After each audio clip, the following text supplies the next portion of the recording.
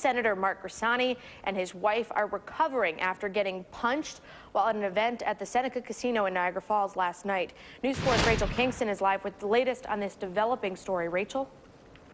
Nalina, it was more than just a punch. It was a brutal attack. Maria Grisanti told us this afternoon, quote, I thought I was going to die.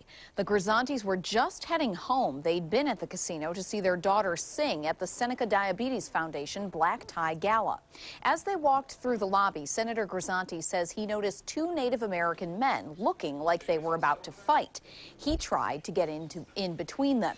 According to Grisanti, when the men found out who he was, one of them punched punched him in the ribs. As he was doubled over, Grisanti says he felt someone else punch the side of his head. Now, at the same time all of this was happening, two women jumped on top of Maria Grisanti. They grabbed her hair and began pounding her face into the floor. But he basically asked who I was and in certain fashion.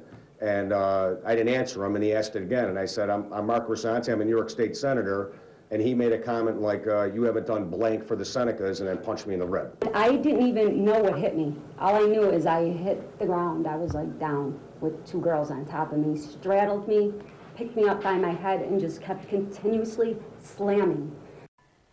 Maria Grisanti has a concussion and bruising around her eyes and nose. Senator, Senator Grisanti was not seriously hurt. Niagara Falls police are looking for their assailants and talking to all the people involved in this altercation. The couple tells us they may press charges if and when those men and women are caught. Live in the newsroom, Rachel Kingston, News 4 at 6.